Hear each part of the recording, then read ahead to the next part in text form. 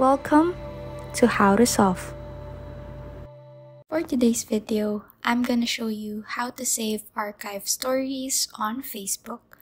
So first is to go to your Facebook account and then tap on your profile on the bottom right to go to the menu. And then tap on your profile icon.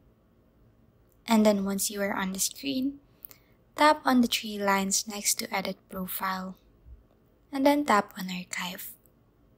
Tap here story archive. And this will enable you to go access your stories before.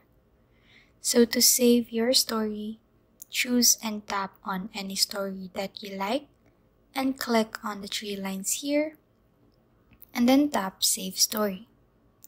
Now once we go to our photos, you will see a story that we just saved. So that's how easy it is and I hope this video is helpful. Please like and subscribe for more content. We'll see you in the next one.